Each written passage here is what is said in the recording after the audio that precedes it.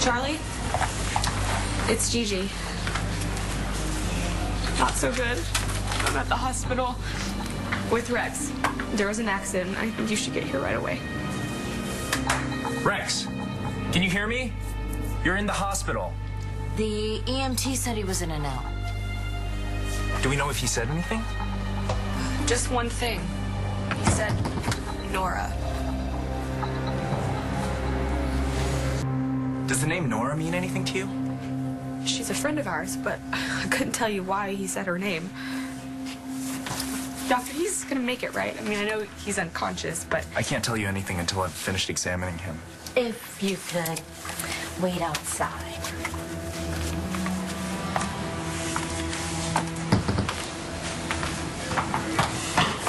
Where's Rex?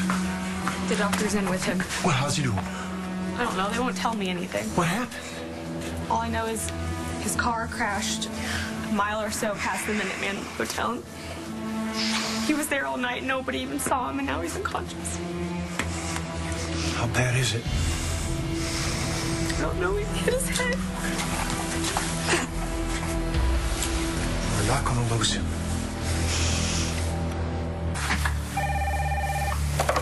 Buchanan, Bo, it's Gigi. what's wrong? Rex was in an accident, and I'm at the hospital. I'll be right there.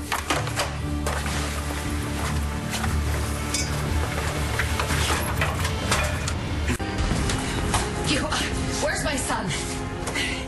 Oh, Rex, how is he? A little more after the test. My God, It's, it's okay. You see that? what, what happened?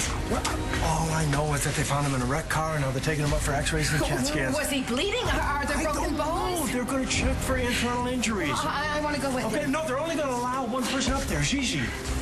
He'll be fine. You know Rex, John McQueen. Well, take care of my baby. Our baby.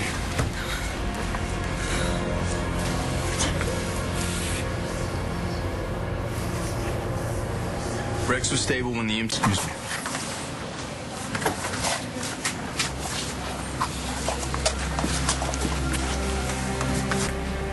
He's gonna be fine.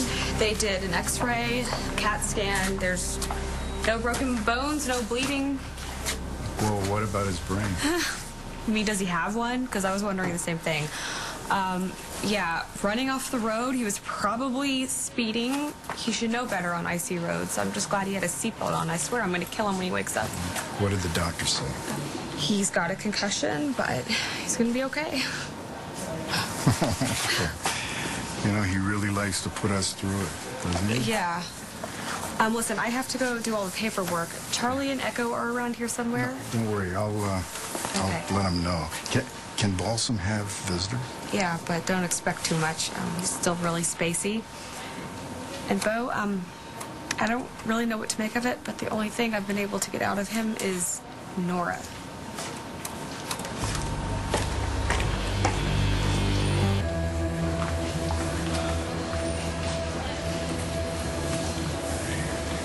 How's he doing?